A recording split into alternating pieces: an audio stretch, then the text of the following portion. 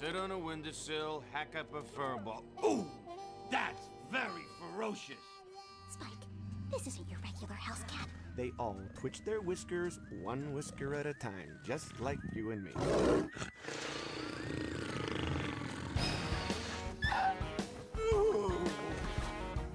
Don't go and be fooled by those fancy pants. It's just her feline arrogance. Flaunting their collars with tinkly bells.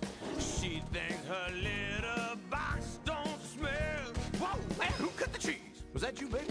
You may want to re-examine your diet.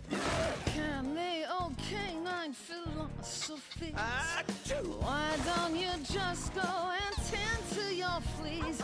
Don't push me, but I'm just not in the mood. You're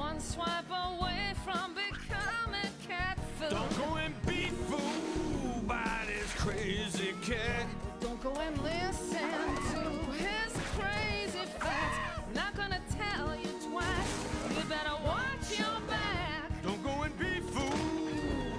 The big bad cat's a furball hacking, rodent snacking. Act! That's right, and act. You're just a pussy cat. You think you're tough? I dare you, Spike, to call my bluff. Swipe away from becoming toast. Eliza, get my doggy bag. I'm about to catch a snack. We can settle this right now, right here. Mano y mano, doggo y cacto. Oh, that has gotta hurt. Falling off a cliff into a sticker bush. Twice. You better watch your Oh, here I am. Come get me. you think I'm afraid of your claws? Oh, me and you, come on, let's go right now. I'll rip that fur coat off you and wear it, and all my dog friends will be going, Spike, where'd you get that skanky cat coat? you hear what I'm saying, Red?